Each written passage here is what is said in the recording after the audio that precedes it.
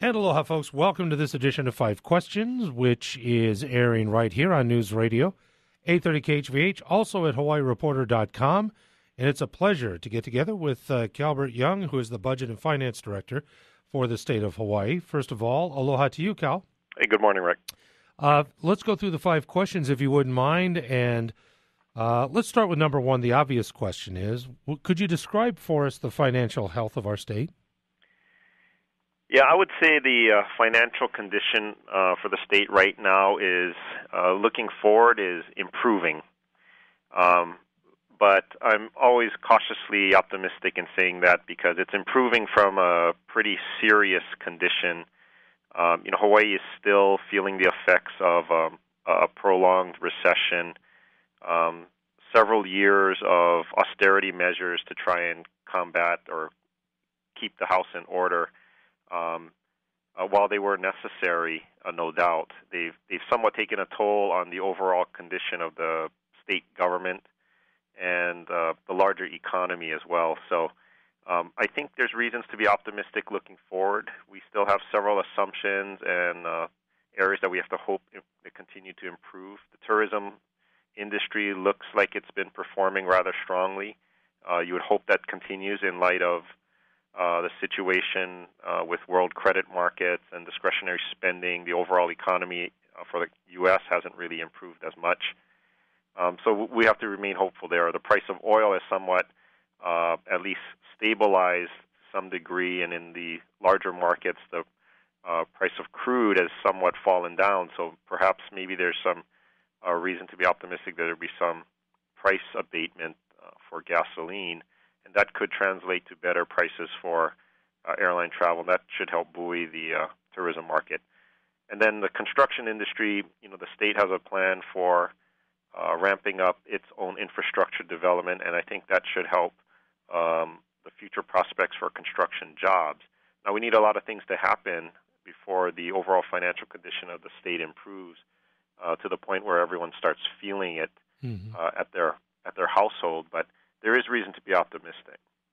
Uh, we're talking with uh, Kalbert uh, Young this morning, uh, Budget and Finance Director for the state of Hawaii, with question number one of five questions. Cal, there was a report issued uh, earlier with question number two, organization called Truth in Accounting, and says that uh, our state, in their description, is a sinkhole at this point, being one of the five states in the union that have the greatest financial challenges. And I, w- I just want to share some statistical numbers and get your interpretation, if I could, please. Uh, they mentioned that the state of Hawaii has about $19.5 billion in assets. Uh, however, of that amount, approximately 3.9 billion uh, are accessible. But we do have receipts due to the state of approximately 15.4 billion. So it seems that we have the assets, but the liquidity is challenged. Yet we do have uh, some pretty profound uh, bills to pay. Can you interpret this information for us, and what should we know? Yeah, the statistics for Hawaii in, in um, this particular area, the assets and receivable, actually, uh, in my opinion, is is not as significant as some of the other areas that the uh, Truth in Accounting report had hmm. had mentioned. Um, as far as liquidity goes, the state does not have a condition where liquidity has been uh, an issue uh, as of late. And I don't particularly think that looking forward that there is going to be a liquidity issue for the state. So the accessibility of of these assets is not as critical. Um, but I think what is more critical, uh, if I may, Rick, is that the report also identified several statistics where Hawaii is one of the worst um, states in terms of those metrics, and and that is in the area of debt per capita, and uh, unfunded liability levels for both the state pension system mm-hmm. and the state's uh, reti- uh, health fund system. Uh, Hawaii ranks near the bottom in terms of funding for both of those um, systems, and I'll, perhaps I, will explain the metrics for the highest debt per capita.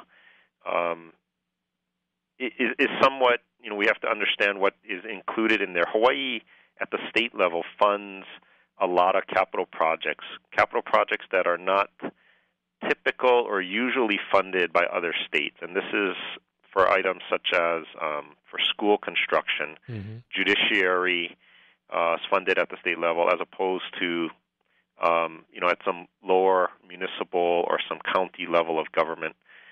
Um, so that kind of puts Hawaii in a different class, if you will. Mm-hmm. So the debt per capita area, um, you know, you have to uh, you, these agencies and analyses have to understand and account for that uh, factor.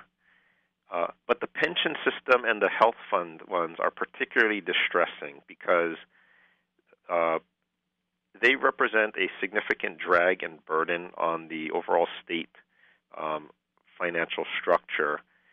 Uh, Hawaii has a pension system that has a liability uh, that exceeds seven billion dollars, a total system uh, that's actually about three times that size in terms of overall uh, uh, liability. And then on the health fund side, it's about $14 billion in liability with no real corpus to speak of, uh, as opposed to the pension system, which does have a you know an asset base that is mm-hmm. invested uh, by the system to try and recover and gain some of the um, returns to hold up or to result to resolve the liability. There's no real such corpus um, to speak of on the health fund side, so that's the area that's the most at risk. Mm. And what it means to taxpayers is that as these obligations and these liabilities grow, uh, because there's no real corpus on one side and a diminishing corpus on the other, the the actual obligations do not shrink. So as the corpus is tapped more for both of these funds, there will be an increasing need for government to fund on a year-to-year basis those obligations, and that will uh, take away availability of funds for other programs, state programs, or it may necessitate the need to fund up uh, those programs in a greater capacity, and that's going to mean um, potentially additional uh, revenue into those funds. Uh, understand, uh, Cal. Thanks for that very much. I know that we might revisit that in just a few short moments as well. It's five questions uh, this uh, for this edition with Kalbert Young, Budget and Finance Director for the state of Hawaii. Let's go to question number three, if you don't mind, Cal, and this would be talking about the recent Fed activity. Uh, we've witnessed the uh, debt ceiling debate, uh, the downgrading of uh, our federal uh, credit rating by Standard & Poor's. Uh, briefly, what would be the impact, or what is the impact to our state in regard to activity taking place at the federal level? Mm-hmm. Yes, well, it's been about a week now since the you know, since the debt ceiling debate, and and just a few days after the S and P mm-hmm. downgrade we were actually monitoring to try and see how the credit markets and the uh, overall Fed activity would result um, to Hawaii.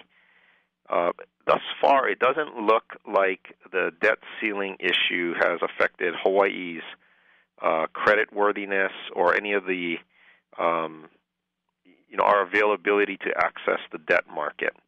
Uh, certain states have had a uh, trickle down effect that they were they were also subsequently downgraded. There are certain debt issues, governmental debt issues out there, and some corp, private corporate debt that um, you know was also subsequently downgraded um, related to the to the U.S. credit downgrade. But going forward, um, we have to still be mindful that the federal activity, as a, specifically relates to the debt ceiling, there's likely to be some restrictions and reductions on federal spending. Mm-hmm. And Hawaii is a very is a state that has a lot of federal uh, money inflows. Uh, you know, we have a very significant military presence. Um, the Department of Defense has gets spends a good portion of its budget here in Hawaii. Um, we also, at the state government level, we also receive a lot of uh, federal funds for a number of social programs. Um, we have to wait and see uh, for a federal budget and, and, and determine which of these programs are going to get affected, in what degree and capacity, and if there is funding reductions, this will pose the question to us uh, at the state of whether or not these programs are going to be funded up by state funds uh, to replace federal funds. Um, we've al- we're already in that mode because with the expiration of the um, ARRA funds, the you know these are the recovery funds. Uh, they mm-hmm. they basically expired uh, you know at the end of last year. Uh, this is part of the the problem that the state has had is this question about should we be funding these programs that were uh, previously funded with federal stimulus money, should we now be using state tax dollars to keep them going and keep them going in the capacity and the, to the degree that they were uh, previously funded? Uh, this will be just more further discussion and uh, more seriousness when you consider how this debt ceiling and the overall federal budget is going to further mm-hmm. uh, drive that question because it will mean uh, less federal spending in Hawaii, more potential um, state spending if taxpayers want to keep and hold on to these programs that are currently in existence. Uh, great answer. Thank you very much for helping clarify that. I would like to move on to number four and maybe elicit uh, a response as well, and that has to do with our own uh, relationship with credit rating agencies, recently, specifically with Fitch and uh, with Moody's, uh, relation to uh, GO bonds and also certificates of participation. Uh, what has been the net effect of the actions by Fitch and Moody's in recent weeks, and where are we now? Yeah, there really hasn't been any effect uh, as a result of the downgrades um, for Hawaii's debt because we, we weren't in the market um, on issuing any new new debt. Um, and from what we've seen in the secondary markets, the downgrades really haven't affected our outstanding debt out there. We do have to be aware, though, that the downgrades likely will have an impact on our future debt issues uh, in you know future years. So um, downgrades typically, generally mean that we'll have higher borrowing costs. We may have to offer higher yields to sell our debt. Um, but it's it's a matter of the market at the time of the sale. So we won't really uh, know what is the true cost of the downgrades until that time. But we should anticipate that there is going to be an effect, and it may be minor, but uh, an effect nonetheless.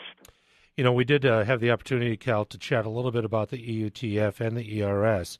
So I'd like to just get your take on a recent uh, proposal, or at least declaration by the governor in regard to COFA uh, and uh, the funding by the federal government requesting for additional funding to defray the cost of uh, of Hawaii. Can you explain to us uh, briefly what our financial obligation is in regard to COFA, and also what the governor would like to see the federal government do specifically from a dollar standpoint?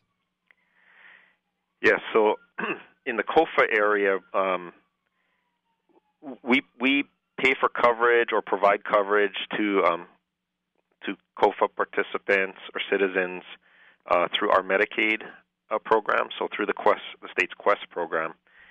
Uh, it's estimated that just the cost of uh, providing coverage for just the COFA um, beneficiaries uh, is somewhere in the area of uh, 15 to 30 million dollars a year. Mm. um, it is that is quite considerable uh, for the state to assume, and this amount only is projected to grow into the future. Mm-hmm. So we would hope that the um, you know the feds recognize that the burden on Hawaii, relative to, even relative to other states, is uh, on a racial basis pretty significant because we do have to service probably one of the larger portions or populations of um, COFA participants. Mm-hmm. Mm-hmm. So we just want to, you know, um, try and get the federal government to recognize that it is a obligation and a promise made, but it's a very big burden to expect a state to provide that obligation uh, without any significant federal support uh, when it is the Fed federal government that actually made that promise. So right.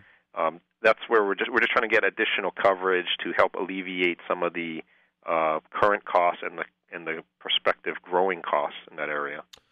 Uh, appreciate the uh, response on that one, uh, Cal. I do indeed. COFA, by the way, compact of a free association, again uh, with remuneration for folks from Micronesia and other areas, um, and the federal government again responsible because of the entry into that treaty. Listen, I, Cal, I want to thank you so very much. Um, I hope you'll come on the program with us again in the future. We appreciate the information today, and uh, we'll uh, look forward to the next time. Thank you very much, Rick. Okay. Thank you to your listeners too. Thank you much. Take care. Have a good day. Bye bye. You too. Bye now.